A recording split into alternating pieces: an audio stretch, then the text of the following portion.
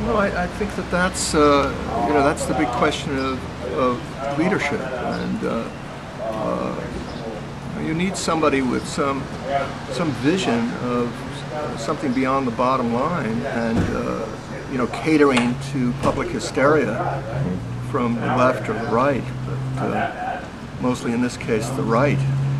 Um, people are scared. They need people to blame, and uh, you'd want a public official to be able to uh, you know, say time out.